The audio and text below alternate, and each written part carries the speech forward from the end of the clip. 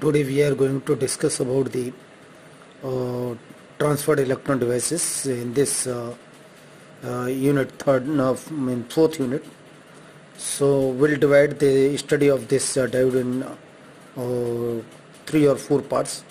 So let us see first part the requirement of the device.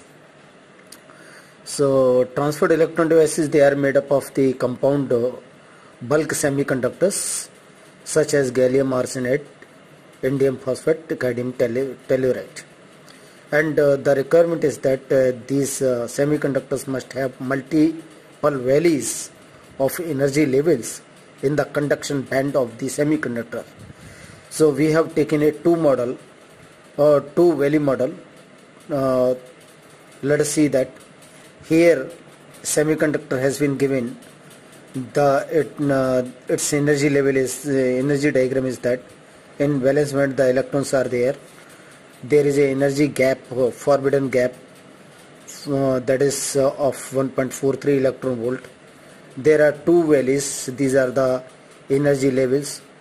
One is uh, lower energy level having the charge density of 8000 centimeter square per volt second mobility and the effective mass of those electrons is 0.068 whereas in upper valley the charge density is having uh, 180 centimeter square uh, per volt second mobility of the electrons and effective mass of the electrons is 1.2 this is heavy valley and this is uh, light valley.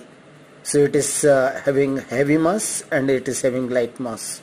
It is having higher mobility it is having lower mobility.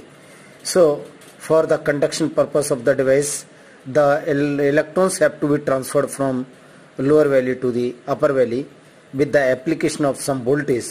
Whereas we have assumed that naturally developed field in the lower valley is EL and uh, the field available here is in the upper valley is EU.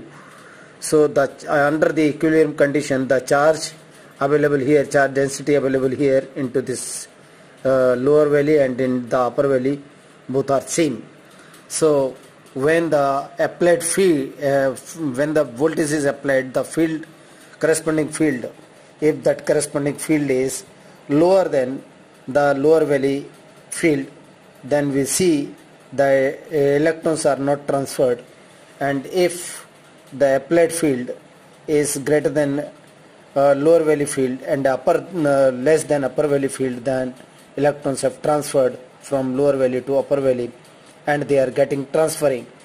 And here also when we we apply the field uh, higher than the upper valley uh, field then all the electrons have transferred here. The in basic energy level difference between the upper level uh, upper valley and lower valley that is 0.36 electron volt. So this is the requirement and this is the energy transfer transferring of the electrons from upper valley lower valley to upper valley. So uh, here the conductivity of the semiconductor has been given uh, by E is equal to that is uh, conductivity is equal to E into mu L NL plus mu U and U.